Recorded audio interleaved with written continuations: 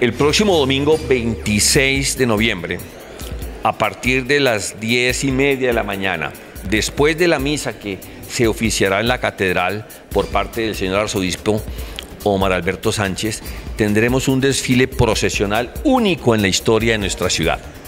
11 amos, 11 amos van a desfilar por el centro histórico.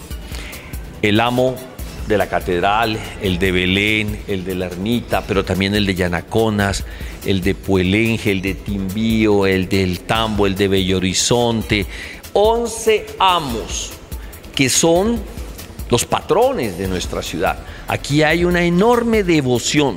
Yo soy un devoto del amo de la ermita, porque allí cargo yo en, en los miércoles santos. Entonces, tengo una enorme devoción, como por el amo de la catedral, el amo de Belén, y hablo con ellos y les pido que me bendigan y que bendigan a la ciudad.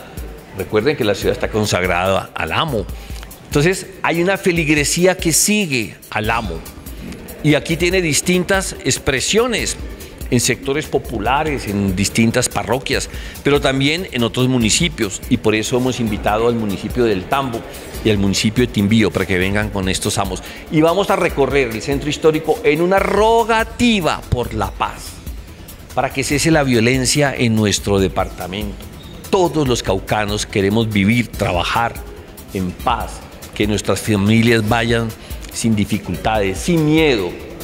Necesitamos la paz y estamos acudiendo a la fe en esta rogativa, pidiéndole al Altísimo, pidiéndole al amo Jesús que nos bendiga, que bendiga estas tierras y que bendiga a nuestros pueblos, a nuestros habitantes, para que podamos convivir, trabajar, educarnos en familia, todos en paz y tranquilidad.